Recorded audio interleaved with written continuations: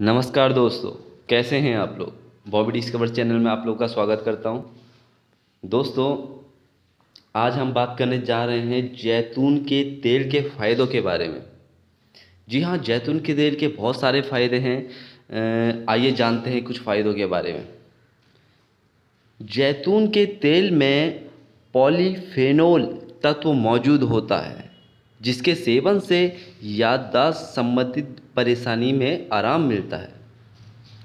Cancer एक जीवन घातक बीमारी है। खाने में इसका सेवन करने से कैंसर संबंधित बीमारी को कम किया जा सकता है। इसमें vitamin D, vitamin E, vitamin A और बी कैरोटीन मुख्य रूप में पाया जाता है। दोस्तों, बेजान स्किन को चमकदार बनाने के लिए जैतून के तेल से रोज़ाना अच्छे से मालिश करें। एक सप्ताह बाद ही आपकी ड्राई स्किन से आपको निजात मिल जाएगी। अगर आपके हड्डियों में लगातार दर्द हो रहा है तो आप जैतून के तेल से मालिश कर सकते हैं। इसमें मौजूद तत्व से आपको आराम मिलेगा।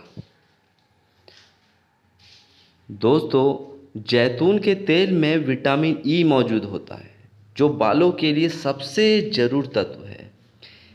इससे बाल मज़बूत रहते हैं। जैतून का तेल बालों में कंडीशनर का काम करता है।